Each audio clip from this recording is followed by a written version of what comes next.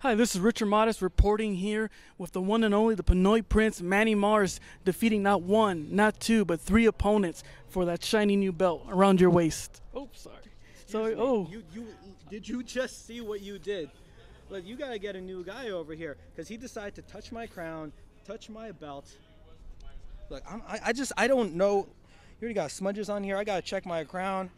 You're gonna have to get me a new one. You realize this, right? I realize. it. I'm excited. You're the champion. Listen, I am not surprised of the results. I knew coming in, going up against Hunter Freeman, Vito Fratelli, two newcomers who thought they could just take my spot. No, no, no. No matter what, I was not going to let that happen. And Romeo Cruz, he knows where he stands. He didn't even deserve to be in that match. And I did what I had to do to make sure I came away with the victory. Victory indeed, but a little bit of uh, controversy. There's no controversial victory here, okay? A win is a win is a win. However, the Pinoy Prince does it is however the Pinoy Prince does it. There's no other way about it. There's no gray line. Win, lose, that's all it is. And what happened? I won. And that's all that matters.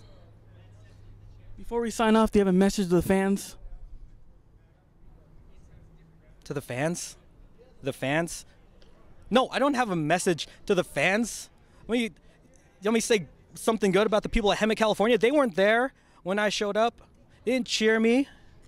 So you know what? No, I don't care for them. And those of you who thought you could cheer me today, no, don't jump on the bandwagon. Stay in your lane. There you have it.